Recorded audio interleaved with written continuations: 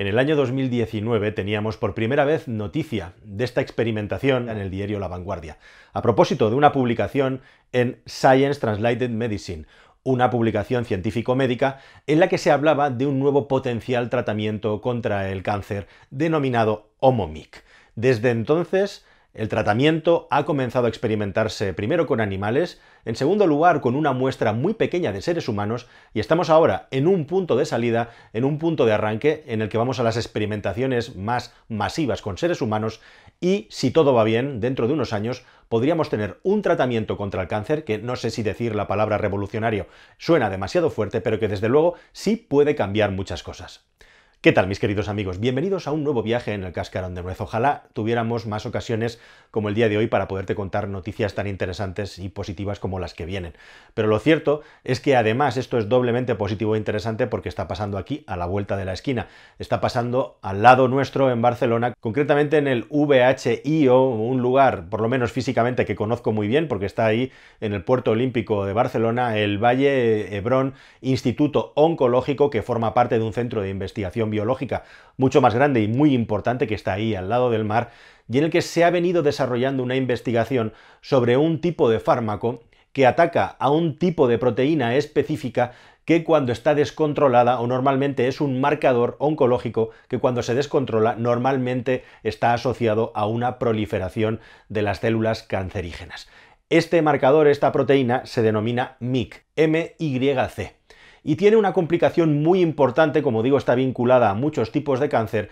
y es que está justamente en el núcleo de las células. Esto es muy interesante y es la clave de toda esta historia, porque se consideraba hasta la fecha que era literalmente imposible o no tratable farmacológicamente llegar hasta el núcleo de las células y concretamente a ese marcador que es el que hace que se proliferen las células cancerígenas más cuanto más proliferación hay. Bueno, pues la cuestión es que una investigadora que lleva nada menos que 25 años trabajando sobre cómo llegar hasta el núcleo de la célula para frenar esta proliferación, algo que como digo desde la comunidad científica se consideraba imposible, lo ha conseguido y además con un nivel de eficiencia y efectividad que como digo puede llegar a revolucionar el tratamiento contra el cáncer. Así que quédate conmigo que te voy a explicar exactamente en qué consiste y qué es lo que se va a hacer a continuación, en qué estado está la investigación con este nuevo fármaco que se llama Omomic.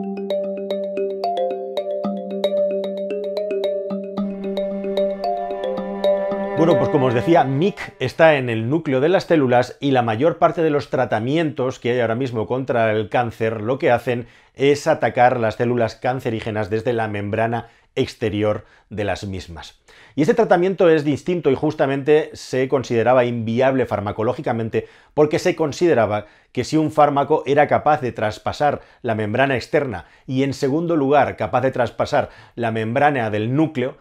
haría simple y llanamente una destrucción tal en las células que acabaría provocando un problema peor, mayor, muchos más efectos secundarios que el bien que tendría un tratamiento de este tipo. Desde ese punto de vista, desde ese enfoque, podríamos decir, de investigación, se consideró que no era viable atacar este tipo de proteína. Pero la cuestión es que una investigadora de nombre Laura Sousek, que además ahora tiene un equipo muy importante trabajando con ella, desde la misma carrera, una vez terminada la carrera, empezó a trabajar en ver de qué manera sería factible poder atacar esto, a pesar de que en toda la comunidad científica le decían que era imposible. Como digo, hay un reto muy importante que es que hay que atravesar dos tipos de membranas sin destruir las células. Pero según la misma Laura Sousek, esto se ha conseguido y se ha conseguido además sin unos efectos adversos muy importantes. Y aquí es donde reside la gran clave, porque estamos llegando a la llave de la replicación celular maligna, la que no deseamos en muchos cánceres,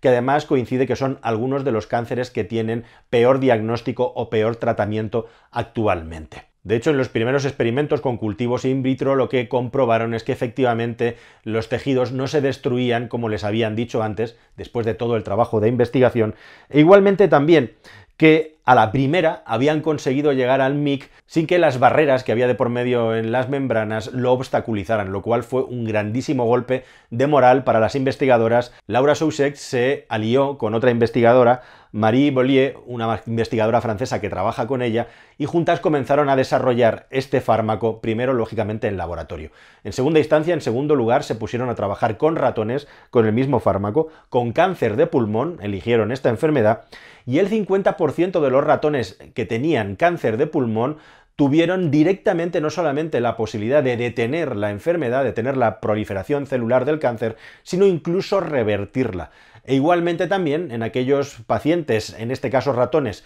animales en los que no se revertió la contaminación celular, al menos se detuvo la enfermedad. Con lo cual, bueno, pues se demostró que efectivamente sí que era posible llegar a este núcleo de la célula, controlar esta proteína, e igualmente también, lógicamente, después de todo un trabajo de investigación, las investigadoras, valga la redundancia, estaban mm, absolutamente convencidas de que su fármaco no limitaba la proliferación celular que es absolutamente necesaria en la vida del ser humano, y ahí está uno de los grandísimos problemas que tiene el tratamiento del cáncer, cómo discriminas entre las células sanas, las que está bien, y hacen el trabajo de regeneración que nuestro cuerpo necesita, de las células cancerosas que están fuera de control y que se expanden de una manera no deseada. Bueno, pues ellas demostraron o intentaron demostrar que este fármaco no afectaba a aquellas células que estaban sanas y allá donde el homomic atacaba a las células con el mic sano, por decirlo de alguna manera, la proliferación celular seguía pero a un ritmo bastante más lento de cara a que esto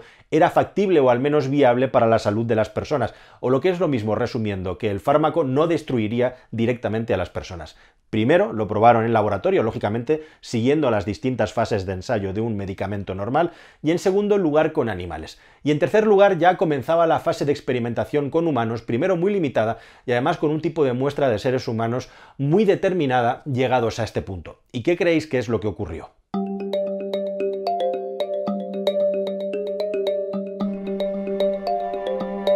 Bueno, pues llegados a este punto y siempre con los fondos eh, no muy llenos, o sea, hasta ahora han dispuesto más o menos de 5 millones de euros para realizar toda la investigación, crearon una empresa que se llama Petomic, que es la que está realizando todos estos ensayos. Pero llegado a un punto van a necesitar la ayuda de la gran industria farmacéutica que ya está interesada en este trabajo para conseguir llegar a muestras más grandes. Pero como digo, primero de todo se comienza a ensayar en seres humanos una muestra muy pequeña en el primer ensayo. En este caso fueron 22 personas de las que desgraciadamente algunas de ellas no fueron aptas para ser evaluadas en el estudio porque tuvieron distintos motivos. Uno de los principales es que fallecieron poco después de comenzar el tratamiento y esto es muy importante para entender los resultados del tratamiento. En una enfermedad como esta y en un tratamiento experimental tan teóricamente agresivo, se arrancó con pacientes que tenían unas características muy específicas, concretamente personas que ya habían desarrollado metástasis, en segundo lugar, personas que ya habían agotado todos los fármacos posibles.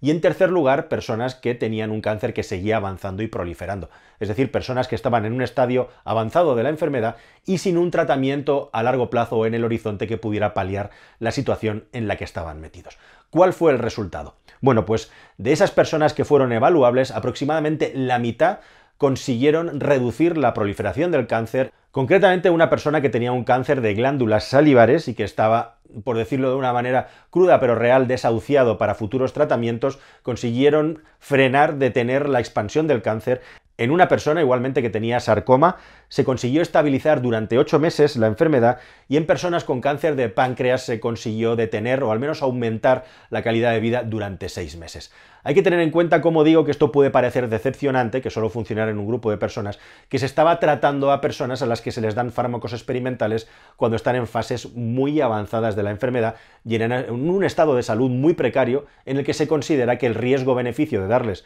un medicamento nuevo no probado puede ser considerado, puede ser óptimo, puesto que no hay otra vía terapéutica alternativa. Y eso es lo que se hizo con estas personas, personas que además, al no haber tenido nunca un tratamiento como este, los científicos no sabían exactamente cuáles eran las dosis. De hecho, hubo solamente dos personas a las que hubo que reducirle la dosis porque tuvieron efectos adversos. Pero toda esta muestra, aunque pueda resultar decepcionante, para los investigadores fue muy alentadora porque se demostró que el fármaco efectivamente actuaba contra el cáncer y ahora tenían una información que podían utilizar muy a su favor para la siguiente fase de investigación.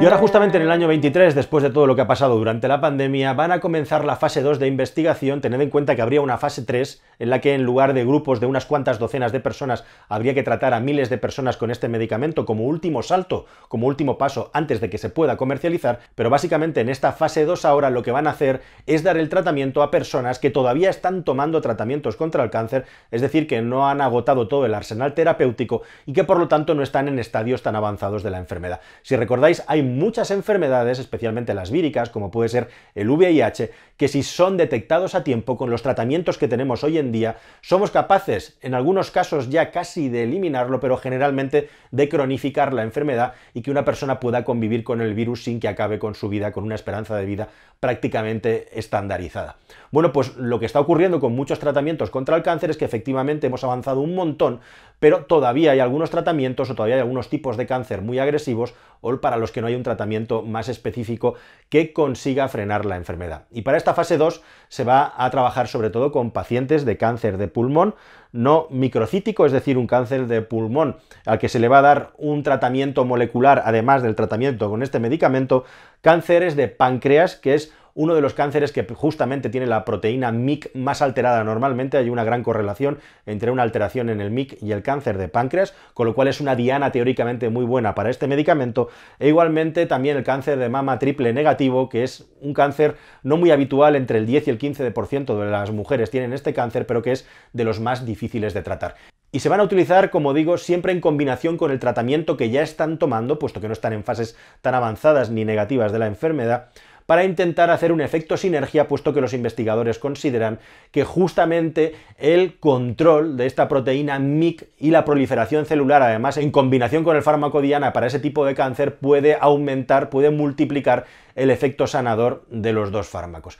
Y lo que esperan los investigadores, lógicamente, es que en este ensayo fase 2 se tenga unos resultados esperanzadores que permitan llegar a la fase 3. Si todo esto al final acaba saliendo bien, si los resultados acaban siendo óptimos e interesantes, lo que tendríamos es un nuevo tipo de tratamiento contra el cáncer que, como digo, hasta la fecha se había considerado absolutamente imposible, que va directamente al núcleo de donde se están replicando, se están acumulando esas células cancerígenas no deseadas y que puede sanar a personas que hasta la fecha era inviable sanar. Como siempre, la detección temprana, cuanto antes, más probabilidades de que el fármaco pueda cortar esa proliferación de las células antes de que esto esté descontrolado y al final la enfermedad acabe ganando la batalla. Para esto probablemente todavía queda un tiempo, quedan unos años, pero los resultados preliminares son tan buenos, son tan positivos, eh, es tan inesperado que algo que se había considerado imposible acabe haciéndose realidad, que creo que es de consideración sacarlo aquí e igualmente también hacer un seguimiento para ver si estos futuros ensayos tienen unos resultados tan buenos como todos esperamos. Y al final, esta enfermedad tan desagradable, tan negativa, y que desgraciadamente todas las personas conocemos, ya sea de una manera directa o indirecta en nuestro entorno, tienen que sufrir a lo largo de su vida. Nada más, queridos amigos, esperando que estas buenas noticias se confirmen con los siguientes ensayos y que acaben en el mercado, seguramente en una gran farmacéutica, pues espero que salga todo muy bien y que vosotros lo veáis y os lo podemos contar. Hasta el siguiente vídeo, amigos. Adiós.